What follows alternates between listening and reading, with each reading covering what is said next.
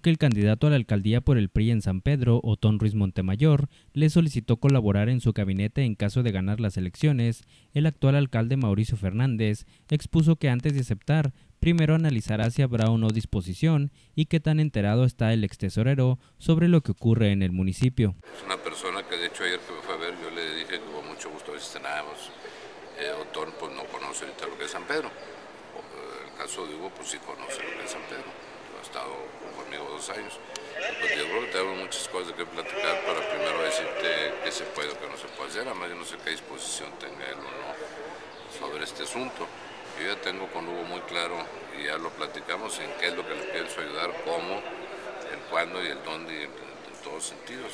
Pues con no he platicado nada. No, pues no, mira, yo no, no, no tengo ese plan ahorita en mente. Citó Hugo y platicamos del tema y, cómo podía encuadrar un apoyo mío, pues primero sería honorario, ¿no? Y segundo, yo no estaría cobrando un sueldo. Entonces, yo tengo que acomodar varias cosas y sería en San Pedro. Yo no pienso meterme en este tema a nivel estatal. Ha habido esta gente que me ha comentado la posibilidad de, en algo federal, pero yo, no tengo interés ahorita.